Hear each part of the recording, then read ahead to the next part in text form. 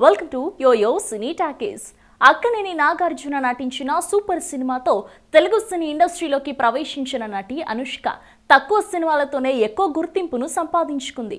అందంతో పాటు చక్కని అభినయం కనబరిచే హీరోయిన్ కావడంతో స్టార్ హీరోల సరసన ఆఫర్లు అందుకుంది. ప్రస్తుతం ఆమె టాలీవుడ్లోనే టాప్ హీరోయిన్గా వెలుగొందుతోంది.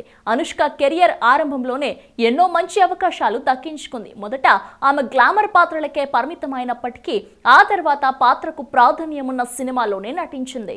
ఈ క్రమంలోనే ఆమె నటనకు ప్రేక్షకులతో పాటు ఫిలిం మేకర్లు కూడా ఫిదా అయిపోయారు. దీంతో తెలుగులోని దాదాపు అందరు హీరోలతో నటించి టాప్ హీరోయిన్ అయిపోయింది.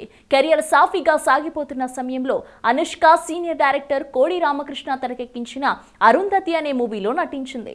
ఈ సినిమా సూపర్ హిట్ అవ్వడంతో పాటు ఆమెలోని అద్భుత నటిని తెలుగు వారికి పరిచయం చేసింది దీంతో ఎన్నో అవార్డులు అనుష్క సొంతమయ్యాయి. ఈ మూవీతోనే ఆమె గురించి అందరికీ తెలిసింది. దర్శక ధీరుడు రాజమౌళి తెరకెక్కించిన బాహుబలితో అనుష్క వరల్డ్ ఫేమస్ అయిపోయింది. ఇందులో ఆమె చేసిన దేవసేన పాత్ర ఎంతో హైలైట్ అయింది. రెండు విభిన్నమైన గెటప్లలో కనిపించిన ఆమె మెప్పించిందనే చెప్పాలి. ప్రభాస్ హీరోగా నటించిన ఈ మూవీలో రాణా రమ్యకృష్ణ సత్యరాజ్ నాజర్ తదితరులు కీలక పాత్ర చేశారు. బాహుబలి షూటింగ్ జరుగుతున్న సమయంలోనే అనుష్క సైజ్ జీరో అనే సినిమాలో నటించింది. ఇందులో లావున్న అమ్మాయిగా కనిపించేందుకు ఆమె భారీగా బరువు పెరిగింది. అప్పటి నుంచి అనుష్కకు ఆరోగ్య సమస్యలు తలెత్తాయని ప్రచారం జరుగుతోంది.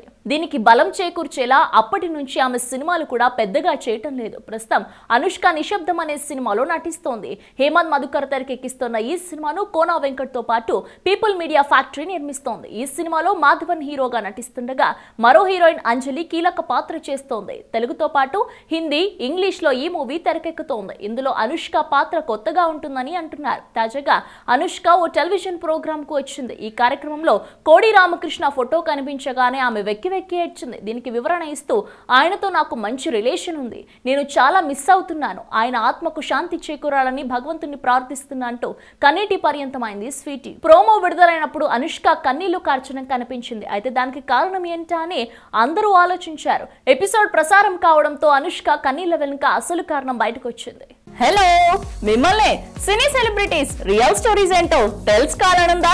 లేటెస్ట్గా రిలీజ్ అయ్యే మూవీ రివ్యూస్ నేను చెప్తే వినాలనుందా? ఇంకెందుకు ఆలస్యం? యోయో సినీ టాకెస్ని సబ్స్క్రైబ్ చేసుకోండి. బాయ్!